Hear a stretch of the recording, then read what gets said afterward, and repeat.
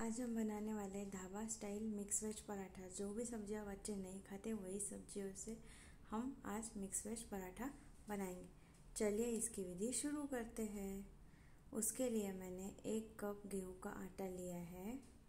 उसी में मैं एक चौथाई कप नमक डाल रही हूँ और अभी हम आटा और नमक को मिलाना शुरू करेंगे। ऐसे एक बार अच्छे से चला लीजिए आटा और नमक को।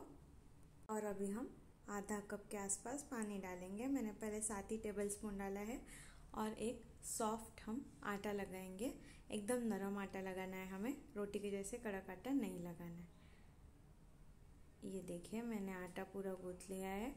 आटा बहुत सॉफ्ट है। इसको मैं थोड़े से तेल डालूँगी और एक बार तेल से उसे रगड़ लूँगी। तेल से जो कोट करे ताकि हमारे आटे पे कड़क वाली पतरन ना बने। और बस इसे हम रेस्ट करने के लिए एटलीस्ट पंद्रह मिनट के लिए छोड़ देंगे। चलिए आगे की विधि के लिए मैंने एक कप पत्ता गोभी बारीक कटी हुई, प्याज काटा है, एक चौथाई कप हरा मटर उबाल के लिए एक चौथाई कप कद्दूकस किया हुआ गाजर है, एक चौथाई कप बारीक कटा हुआ हमारा कैप्सिकम है मतलब शिमला मिर्च है। और साथ में मैंने एक छोटी चम्मच लहसुन का पेस्ट डाला है और मैं अभी एक छोटी चम्मच अदरक का भी पेस्ट डालूँगी। और अभी चलते हैं आगे की प्रोसेस की तरफ़। उसके लिए एक नॉन स्टिक पैन लिया मैंने, आप नॉर्मल भी ले सकते हो। और अभी हमने जो भी सब्ज़ियाँ काट के रखी थी, वो सारी सब्ज़ियाँ हम उस पैन में डाल देंगे, जैसे पत्ता गोभी, प्याज, हरे मटर, सभी बारीक काटना है हमें और वो सभी हम पैन में डाल देंगे। हम तेल नहीं डाल रहे, आप चाहे तो तेल भी डाल सकते हो। और इस सब पराठे में मैं आलू का बिल्कुल भी इस्तेमाल नहीं करूँगी, आप चाहे तो कर सकते हो और तेल भी नहीं करूँगी। जो कम से कम तेल में हो सके वैसे ही करूँगी। और इसे हम सौते करेंगे। हम हम आलू इस्तेमाल नहीं कर रहे इसीलिए हमें इसे ऐसे पका लेना है। अच्छे से दबाते हुए मटर को दबा के पका रही हूँ। साथ ही में आधी छोटी चम्मच नमक डाल देंगे ताकि सब्ज़ी अपना पानी छोड़े और अच्छे से पक जाए। अच्छे से मैंने एक सा मिला लिया है और इसे अभी हमें थोड़ी थोड़ा चलाते रहना है और कुक करते रहना है। आ, आज हमारी धीमी पे है आप मीडियम पे भी कर सकते हो। अब साथ ही में मैं इसमें आधी छोटी चम्मच हल्दी डाली है मैंने।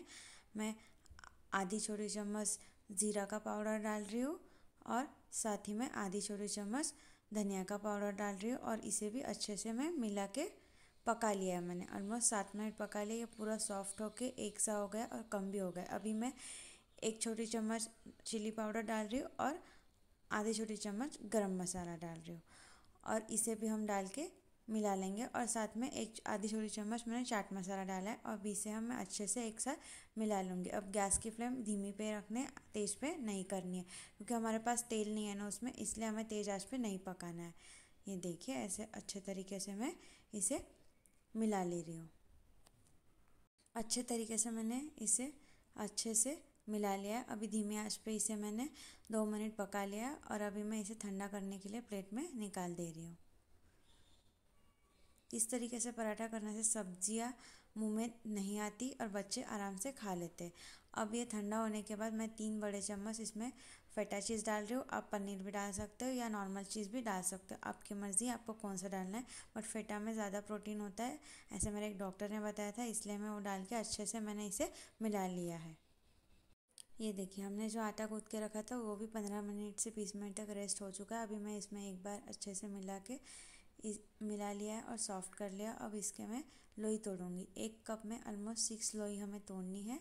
इस साइज़ के आप लोई तोड़िए। देखिए, थोड़े नॉर्मल रोटी से थोड़ा बड़ा होना चाहिए। इसी तरीके से मैं सारी लोइयाँ बना ली है। अब चलते हैं पराठा बनाने के लिए। उसी के लिए मैंने एक सूखा आटा भी लिया है परत के लिए। बेलने को आसानी हो जाए इसके लिए। और जो हमारी एक लोई है, उसे मैं सूखे आटे में थोड़ा सा रोल कर रही हूँ और दबा के देखिए, साइड में थोड़ा पतला बेलना है और बीच में मोटा ही रहना देना है और ये थोड़ा सा ही बेलना है, बहुत ज़्यादा नहीं बेलना है क्योंकि अभी हमें इसे स्टफिंग करनी है उसके लिए। या आप हाथ से भी कटोरी बना सकते हो, बट मैं इस तरीके से बनाती हूँ, साइड में पतला, बीच में मोटा। ये देख के ही आप, ऐसा देख के ही देखिए, साइड में पतला, बीच में मोटा है। अब मैं इसमें वन फोर्थ कप तक हमारा स्टफिंग डालूँगी। आप थोड़ा ज़्यादा चाहिए, ज़्यादा भी डाल सकते हो, कम भी डाल सकते हो। और ये देखिए मैं किस तरीके से इसमें स्टफिंग भर रही हूँ और इसका एक बॉल बनाना है हमें। ये देखिए, आपको स्टफिंग को दबाना है और साइड साइड से रोटी को लिफ्ट करना है। उठा के उठा के देखिए कैसे, किस तरीके से मैं और साइड साइड से ऐसे बीच में दबाते हुए साइड से गोल घुमाते हुए एक इसका अंदर अच्छे से स्टफिंग हो जाना चाहिए। और जो पतली वाले साइड से वो देखिए, सब साथ में आ जाएँगे तो ऑटोमेटिक मोटा हो जाएगा और बॉटम का भी और बॉटम का और मतलब नीचे का और ऊपर का दोनों एक जैसी लेयर बनेगी। अब देखिए, धीरे हाथ से इसे बेलिए। बहुत पतला नहीं बेलना है, थोड़ा मोटा ही रखना है। आप किस तरीके से बेलना चाहते हैं उस तरीके से बट बहुत पतला तो ये बेला नहीं जाएगा। ये देखिए, पूरा मैंने बेल लिया है। जो भी सूखा आटा था एक्स्ट्रा वो निकाल भी लिया है। अब चलते इसे सेकने के लिए। उसके लिए ऑलरेडी मैंने तवा गरम करने के लिए रख दिया था, तेज़ आँच पे है तवा, और मैंने इसमें पराठा डाल दिया है। इसे अभी हमें कुछ कुछ देर के लिए तेज़ आँच पे ही पकाना है। ये देखिए ऑलमोस्ट फोर्टी फाइव सेकेंड मैंने तेज़ आँच पे हाई पे पकाया है। अभी मैंने इसे उल्टा करके दूसरे साइड से भी मैं तेज़ आँच पे ही पकाऊँगी। अब मैं साथ ही में इसमें थोड़ा सा तेल लगा रही हूँ। आप तेल बटर घी जो भी आप लगाना चाहते हो, लगा सकते हो। थोड़ा सा मैं इसमें तेल लगा रही हूँ। और इसे भी मैं कुछ थर्टी सेकंड के बाद उल्टा कर दूँगी। अब गैस की आँच पूरी धीमी कर देनी है आपको और ऊपर के साइड में भी थोड़ा सा तेल लगा रही हूँ मैं, क्योंकि मैं ऊपर से बाद में बटर डालूँगी, इसलिए तेल बहुत कम डाल रही हूँ। ये देखिए, ये फोर्टी फाइव सेकेंड बाद वापस हमें इसे पलटा कर देंगे। लेकिन देखिए, नीचे से कितना अच्छे से करारा और लाइट गोल्डन ब्राउन के स्पॉट्स आए हैं उस पर आप तेज आँच पे करोगे तो जल जाएगा। ये देखिए, अच्छे से दोनों साइड से पक चुका है। अगर आपको लगता है कोई साइड बची है तो आप वो भी निकाल लीजिए। अभी मैं इसे एक निकाल के एक प्लेट में ट्रांसफ़र कर दे रही हूँ। ये देखिए। और चलिए, और एक मैं बना के दिखाती हूँ आपको कैसे बेलना है। ये देखिए, और एक लोई ली मैंने, उसमें थोड़ा सा सूखा आटा लगाया ताकि हमें बेलने में आसानी हो जाए।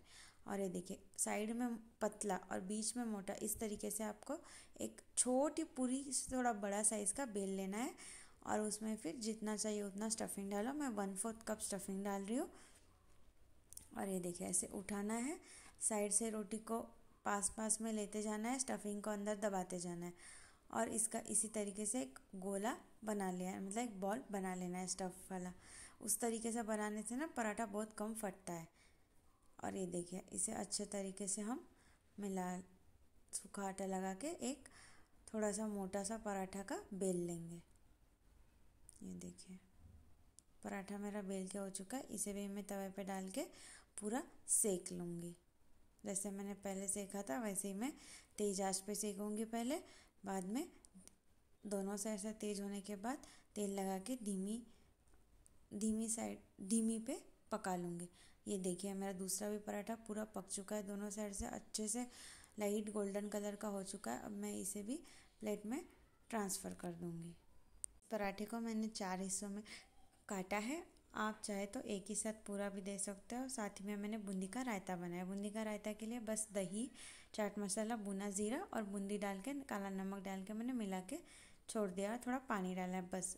सिंपल सा बूंदी के रायता और ये वेजिटेबल मिक्स वेज का जो पराठा है, बहुत ही टेस्टी लगता है।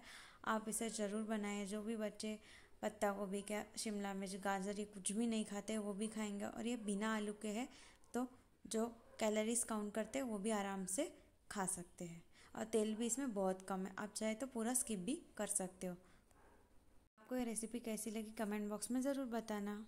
Thanks for watching